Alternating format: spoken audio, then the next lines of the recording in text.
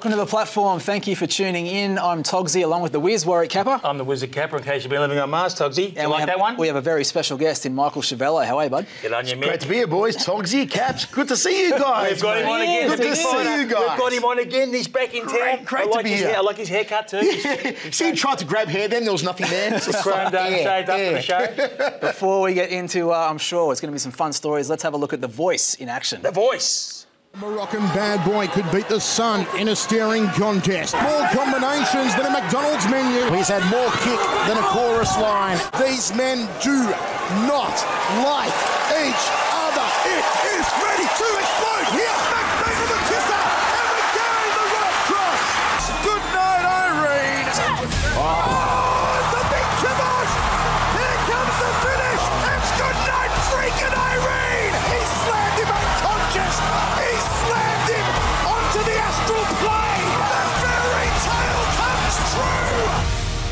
What about that, Michael? I love that voice. Good night, Irene. Some good memories there, some good memories. That was like when I was fighting um, Wendell Salem. I said, good night, Wendell. And I thought he was down in West Trap and went boom, bo, bango, boom, bo, and I went down like a heap of shit.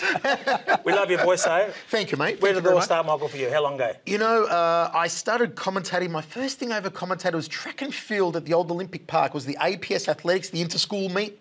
And When it was was that? in uh, 1990. I think I was 15 or 16 years old. Wow. And then after that, that? I, I started doing some soccer on local radio. And then after that, um, when I was 21 years old, oh, no, even 20 years old, a local kickboxing commentator said to me, Do you want to commentate my show just for my video in front of 100 people How at the that? Sunshine Macedonian Youth Centre out in Sunshine? And now, okay? I, and now I heard your ratings. You're going to the 35 million people, 173 countries. These days, 35 million How people, 138 countries. So it's just it's amazing the way He's as life well known goes. as Warwick Capper. well, no one's that well known, but um, we can try. The, the journey you've had, you've done everything. You've done like, you know, Muay Thai around Australia, kickboxing, and then you went over to the States. What were some of the things that happened to you in the States? Because you had a TV show as, over there as well. What's your favourite? Yeah, uh, you know, I spent seven years in the States and did a lot of great fights over there. And uh, we did the Voice versus TV show, which was a lot of fun. I got to travel around and experience America, and experience the culture and the people over there, and had some fantastic times. And like everything in life, it, it, it, it, it serves its purpose and it comes to an end. And uh, we were having a, a second child, and wanted to come back here to Melbourne to raise the kids. Already had one that was born in America, Yep. my oldest son. But um, the US is good. But it's nothing like being back home with family and friends and you know grandparents and, and, and that sort of stuff to raise the kids. So uh, we decided it was time to come back to Melbourne. Well, now you're doing one championship. We'll Yeah. talk about that shortly, but you're doing some amazing interviews on a show called, is it 1v1? Yeah, one on one with the voice. Uh, so we did the voice versus in, in the USA, Yeah. which is one hour sit down show in the US. And uh, I wanted to bring the same idea to One Championship, Yeah. who I'm now working for, and interview their athletes in a whole different light. Not the stock standard questions that the, the marketing people usually ask, but getting into the nitty gritty of their background and some funny questions and you know left of centre questions. Getting their And head- getting- getting their heads a bit. yeah, getting their heads a little bit Like I do. exactly. And it doesn't get much bigger than uh, Angela Lee. Angela is the biggest star in one championship, you know, one of the biggest female stars in the world. you and spoke with her? She was the very first guest, and she was lovely. She and we- nice? we had a- she's fantastic. Really, really good time. married?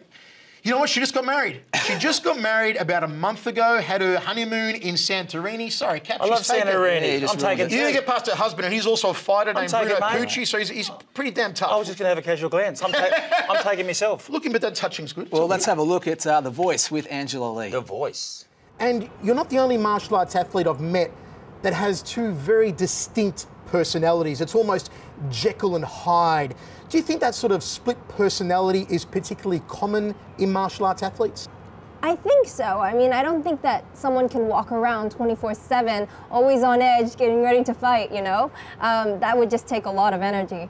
So, having this kind of dual personalities um, when I'm inside the cage and outside the cage, it helps to keep me balanced.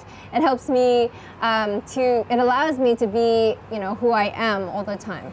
Tell us Yeah. about the one championship, Mick. Mick. One championship, going? it's it's huge, mate. Absolutely huge. You know, they're the biggest martial arts organisation in the world. Uh, when, when people think of mixed martial arts, you think of two organisations. The Western Hemisphere, you think of UFC. In the Eastern Hemisphere, you think of one championship. Broadcast to 138 countries. We, we peak at about 35 million viewers. So it's it's massive. And, and they're, they're chasing NFL numbers. You know, Chatri Sityodtong, the CEO of One Championship, the founder, came out at a press conference in Tokyo a couple of weeks ago and said, we're, we're not chasing anyone else, any other fight promotion, we're chasing NFL figures. In four years' time, we want to be doing NFL figures. And they're already the largest sports media property in Asia. They're the most, the, the fastest growing sports media property in the world, and they're going to get there. And, and you know, Togsy, you've asked me before about Chatri Sityodtong. Yeah. Let me tell you a bit about this guy. Chatri, I think, is about 47 years old, so he's only a young, young bloke. But he, he, he, he grew up um, in, in, a, in a you know, normal uh, family in, in Thailand. And when the financial crisis hit Asia, the family lost all their money, wiped out. And the dad left the scene. Okay, couldn't handle it, so he left the scene. So Chatri's mother somehow got him to go to the USA for his schooling. He went to the USA, ends up at Harvard. How'd okay, go? Gets, gets he an? MBA in, uh, in, I think, in finance. Then works at a hedge fund on, on Wall Street, managing a $500 million hedge fund. But wasn't his mum living with him at the dorm? Had his mum living in the Harvard at the dorm, How good's that? was surviving his, had no money with which to even eat, was surviving living on $4 a day, uh, you know, out of Harvard for, for a couple of years, gets his MBA, ends up managing one of the biggest hedge funds in the world on Wall Street, and then turns around when he's in his 30s and goes, I don't want to do this anymore. Speaking of great stories and your commentary, I reckon you could pretty much commentate anything. Do you agree? Like, I reckon I could give anything a crack, a fair go. because I found this video online, I thought was rather interesting about these two. It was these two bugs. having- Bugs? yeah, two Yes. bugs having a fight, and I thought that's really kind of cool. We thought And of you we put- commentating it. That'd be hilarious. All right. I put it together, and I thought maybe you could have a crack at it. Would you mind? Let's go for it. Come You on. Let's have a look at uh, the bug do it. footage, and you commentate it. Bug footage. This is alive and happening. Have a look at this big fella with these enormous arms. These two have been bugging each other all week, and now it's time to throw down. Here come the left hooks with the reach like that. We could call the guy on the right of screen Insector Gadget. Left hooks and right hands. Another left hook. He's got more hooks than a Pirates convention, and there's a knockdown. How about that? He's down for the count. Does a 180, flips back up. The big fella top of him. Right hands now. Another right hand. Another right hand again. He's got more rights than Amnesty International. And the little guy on the left of screen had a whole lot of bother. He tries to pull guard. The wings came out. Did you see that? The wings came out. He tried to fly away. There's no flying away in the fight game. Do that. He's taking enormous punishment here. He's taking an absolute shellacking. Here come the rights again. Here comes another left hook. More hooks in a tackle box on the big fella. The little black bug trying to crawl away, trying to get out of harm's way. This one's over. It's good.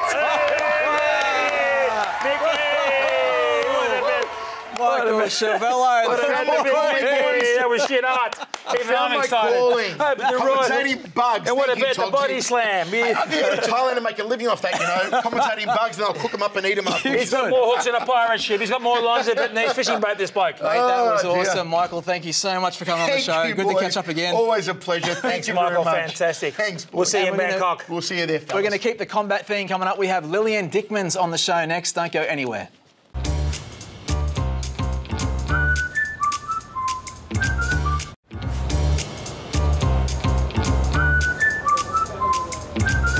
Welcome back to the platform, Wizard Capper and Togsy. You've been on Skype with that Muay Thai champion once again, I've been finding interviews on the beautiful Lilian. Lilian Dikmans. Yeah, She's a lawyer, kickboxer, Muay Thai expert, and what else you do? Model. a model as well. I saw a story on Facebook. It's uh, very cool. And we jumped on Skype. She was in Perth, and we filmed this. Where did the passion for this start? I mean, you finished school and sort of went into modelling. I was reading, and then all of a sudden, Muay Thai comes into the picture. Yeah, so I started modelling, it was just a job while I was at uni. So, and then I just continued on, so it's been really great. Um, back then, I didn't even know what Muay Thai was. I started, it was probably 2014 when I started um, training Muay Thai just because I was looking for something to do for fitness. Yeah. Uh, went to a Muay Thai, like a fighter's gym that was near where I was living and started doing classes there. Um, and then while I was doing the classes, I saw the fighters training and doing pads and all this kind of stuff, and I thought that was pretty fun. I'd really like to try that. So I ended up um, doing some private sessions with one of the trainers there and kind of just progressed from there. I just fell in love with the sport. You kind of get addicted to it.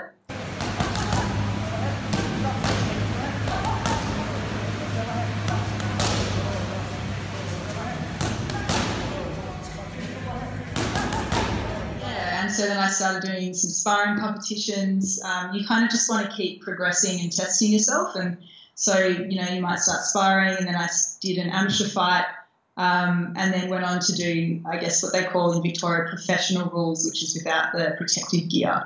Right. Um, so it kind of just evolved naturally.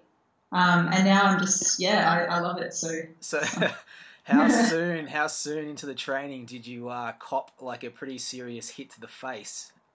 I reckon um, definitely during sparring, before I'd even done the sparring comps, um, everyone has different kind of levels that they'll go to in sparring, and because there's not that many girls at the gym, often you, you're sparring guys who are bigger than you and they may not be able to control their strikes. So I remember there was one guy who hit me pretty hard in the face quite a few times. Wow. And, yeah, I mean, you know, the first time I was like, yeah, okay, maybe just just try to ease off a bit, and then he did it again. He did it a third time, and then someone spoke to him about it. But um, yeah, I mean, you know, it makes you realise it's not as bad as it might look. Um, but you obviously want to be safe when you're sparring. You don't want to be injured. So Okay.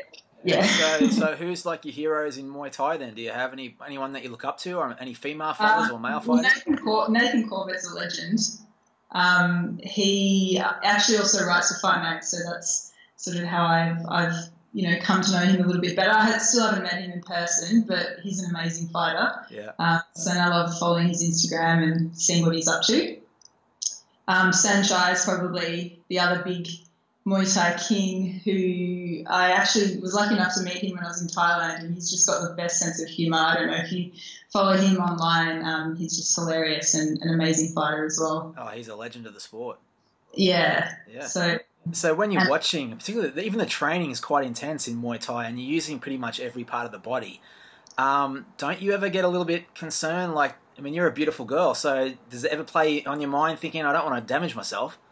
Yeah, I mean, you do need to protect your head at all times, which is the first rule for everyone, really. Yeah. Um, I mean, I've been lucky to not have sustained any serious injuries other than just bruising. And with modelling, um, makeup artists are really good at covering bruises. Wow. So often it's typically just my legs that'll have bruising, so that can be covered.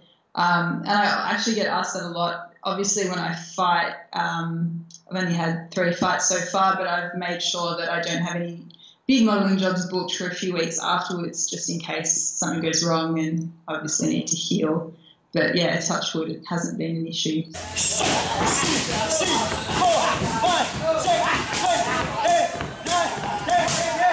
So let's go back a little bit though. Before you got into the Muay Thai, you were in Melbourne and you uh, you're studying a lawyer. Is that right?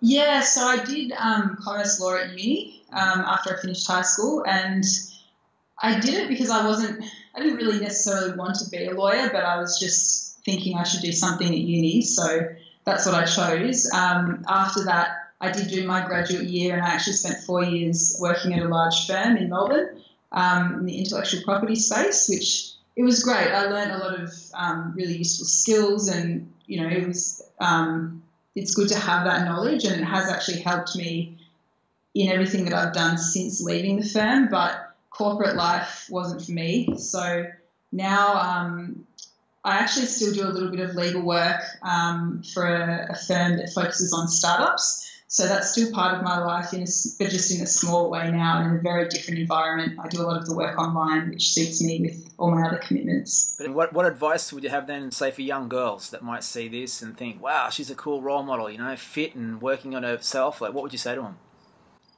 I think um, I definitely encourage girls to try out combat sports um, like Muay Thai. I think that it's such a fantastic way to build your self confidence. Um, it definitely was the case for me. I think it's obviously great for fitness as well, but it does teach you discipline and it does teach you how to bounce back from setbacks. Um, because obviously it's difficult to training and often you're getting hit when you're sparring and things that can make you feel like you're not good enough, but you can kind of rise above it and just keep moving on and progressing. So I think that that's it's a great discipline for anyone, but particularly women um, who might be otherwise a little bit intimidated by the sport. So if yeah, if I can encourage women to do it, then that's great. That's so cool. And how do we find you? We want to follow the journey. Like, is uh, you got your website? Tell us about that. Yeah, so I've got a website, liliandikmans.com. Um, basically, I just I write various articles just about what I'm up to, um, anything from my food, um, things that often people ask me about, beauty stuff, um, just updates, general updates, and um, I share stuff on social media as well. So I'm on Instagram, Facebook. Um, just got onto Twitter recently as well. yeah. All right. Well, you know what? It's been great to uh, see a random post about you on Facebook and now have a chat and put you on the show. So thank you for your time. Oh, thanks so much for having me. Yeah, It's all the, great. best, all the best with everything you're doing. Thank you. Thanks so much. A bit like me, three things in common. Both beautiful, smart, and both talented, and both very famous. She's an amazing, find her? amazing story just on Facebook, and she's actually got a big fight coming up in Perth soon uh, as well. So that's going to be pretty cool for her. We might go to Perth too. Why not? Go for, go for lunch with her too. Now you won't believe it. We're going to wrap up the show with another chat on Skype. No, again? Mate, if I'm not on Skype, I'm going to be looking at sites I probably shouldn't be looking at, so I might as well be on Skype Yeah, doing I know, you're poor man's But, work. uh, You are a poor man's work. We're going to go to Japan, and if you're a Michael Jackson fan, you will love this because we're going to Skype with Yuko Sumida from Japan when we come back.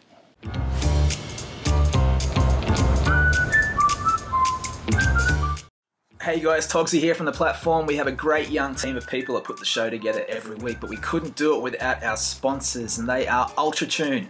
Sean and the team, thank you so much for backing us. Car Carlision, Huss and the guys, the best car repairs in Australia. RS Chase Lawyers for all your legal needs, and Property Direct AU. Sam and his team will look after you. Thanks, guys, for supporting the platform. And now back to the show. Welcome back to the platform. I'm Wizard Cap, and that's Togsy. Heard you had a great interview with Yuko Sumida, the backing dancer with Michael Jackson in the 80s. Yeah, she's a superstar, and uh, I met her in LA actually a few years ago, and she's a super, super cool lady, and uh, what a great story. I actually asked her at the beginning about how she ended up working with Michael. Have a look. Okay. Uh, my agent sent me to the audition, uh, and it was a closed audition first. It was 20 people. They already picked, uh, Michael's side already picked 20, and I was one of the 20 because I, I guess I worked with him for Black or White before the tour. Um, so they told me to, you know, audition, but then uh, the dancers, uh, you know, the rumor got spread and they didn't like the idea. Um, you know, they wanted to have fair choice, so it became open call. Wow.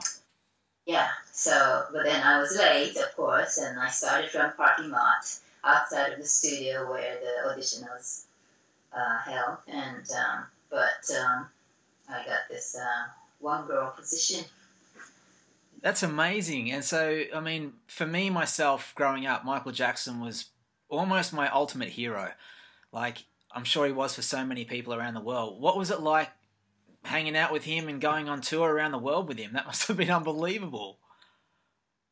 Uh, yeah, it was amazing. Um, all the places we went, um, actually, the, the rehearsals, um, it just opened my eyes uh, widely because he was so genius. Um, and um, the first time I saw him, I, I met him, um, I really felt, how can I say, like he's he's he's such a like he's a superstar, but also he's like very kind, generous, maybe too sensitive human being. Right. And I empathy from the beginning, from the time I met. He came to me and he said, "Nice to meet you, Yuko," and you know at the at the rehearsal, um, and um, so I don't know. It's it, to me, I was able to see his human side and also uh, superstar side, and, and it was fortunate for me to work with a guy like that for altogether six years.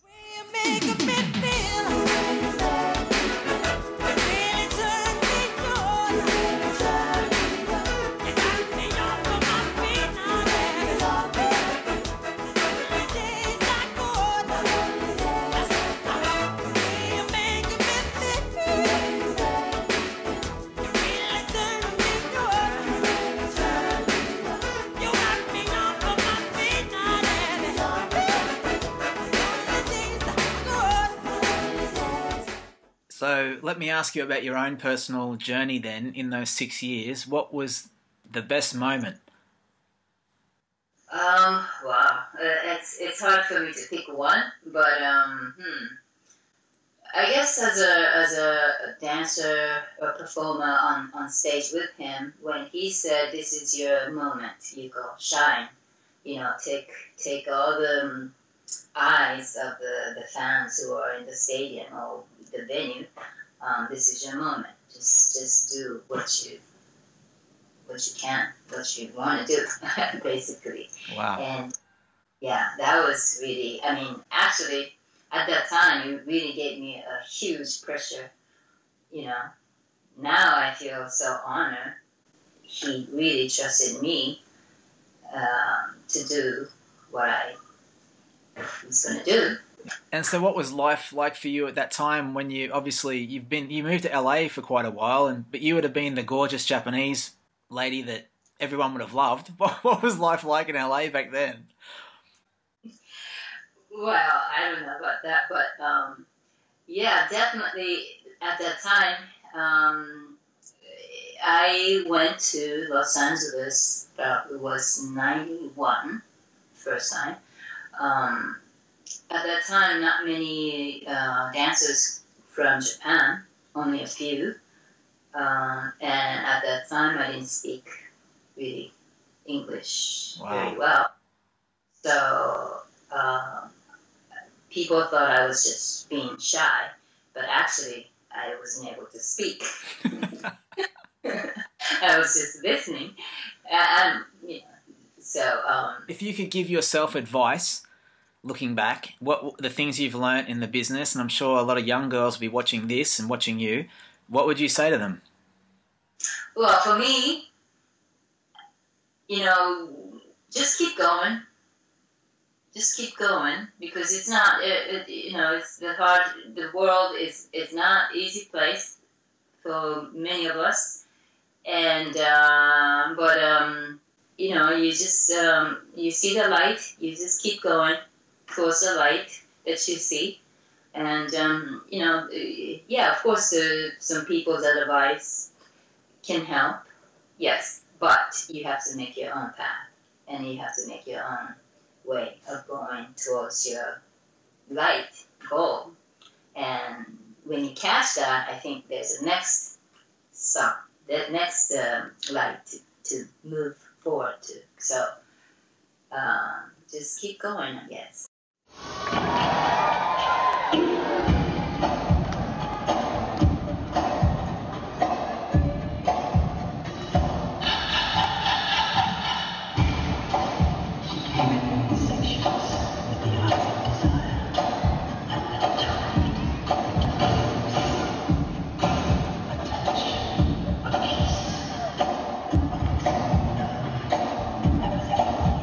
Very nice to chat with you. Thank you so much for being on the show, and I look forward to catching up with you again sometime. Thank you, Andy. So there she is, Yuko Sumida. She's uh, amazing on Skype from Japan. What a stunning lady. Absolutely gorgeous. And can't she dance? Oh, she can move. And by the way, her yoga and the stuff she does with dancing as well, she wants to come to Australia. So if anyone out there wants to bring her out here to do yoga and stuff, when she comes out, I'll do some yoga with her for about three days. it's really good for your body. I'll try and put in a good word for you. Okay, mate. Don't forget to check out our socials, theplatformtv.net. Fantastic. I'm Warwick Capper. That's Togsy. Thanks for watching the platform. We'll see you next week. Number one show in Australia. Apparently.